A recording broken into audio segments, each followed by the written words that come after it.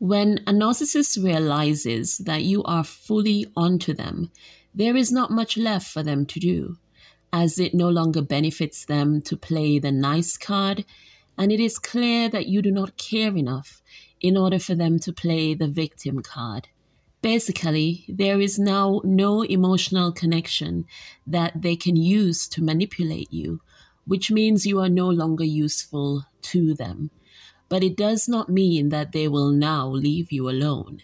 Because although they may not be able to manipulate you, they may be able to manipulate others around you in order to affect you on some level. The unfortunate truth is that many narcissists do not move on straight away to a next victim, and they also usually have multiple victims at the same time who they are trying to destroy. Narcissists are very vengeful and spiteful, so their list of victims is always growing, and it does affect them when they have lost out on a source of supply. So, whether you have gone no contact or you have set some firm boundaries and actively avoid the narcissist, or you may have even called them out on their manipulative ways, the narcissist knows when their emotional games have come to an end with someone, and there are only a few things left for them to do. So today I have three different ways narcissists manage people who they can no longer manipulate or control. Depending on who you were to the narcissist, they may have done one or even all of the different things but their reactions are based on the fact that you are viewed as a major threat to the narcissist. Because when someone is too strong or wise to the workings of the narcissist, it makes the narcissist very uncomfortable. Their fears and insecurities kick into overdrive, and they have to find a way to minimize those fears and insecurities once more. Therefore, one of the first things a narcissist would do when they realize you refuse to be manipulated is devalue you. This can take many forms. The narcissist may try to embarrass you or set you up for embarrassment. They will gossip, slander, or carry out full blown smear campaigns to devalue and discredit you as an individual. Their aim would be to isolate you and get others to turn their back on you. In the mind of the narcissist, if they cannot control you, then they refuse to let you just get away with it and carry on with your life.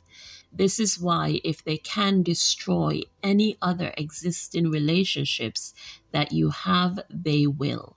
So even though you have managed to secure your defenses and they're not able to affect you directly, there may still be others around you who are not as strong or as wise to their attacks, and the narcissist can use them against you.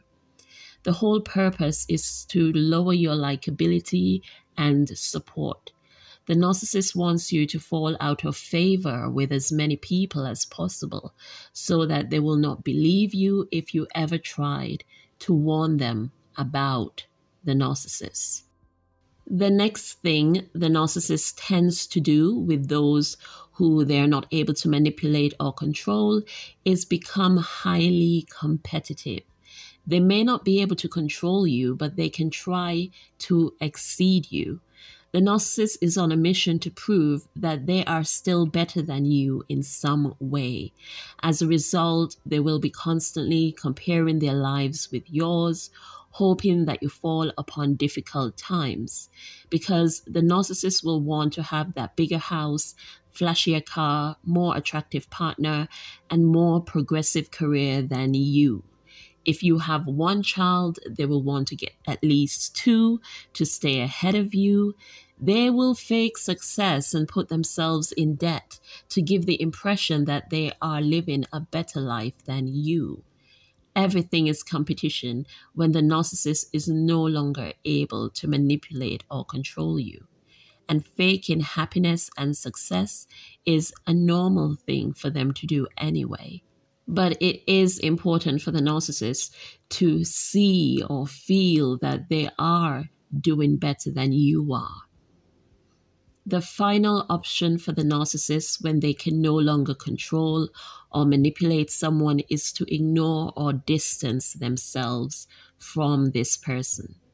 Sometimes it hurts the narcissist too much to not only be around someone who has escaped their grasp, but someone whose life they are not able to affect in any way. The narcissist would prefer to waste no more time on someone who can clearly see through their BS. People like this actually make the covert narcissist very uncomfortable. So, in these instances, the narcissist moves on to brighter pastures where they can find new people to manipulate and control, as it is too risky being around someone who can potentially expose them. But to conclude, it is important to remember that control is everything to the narcissist.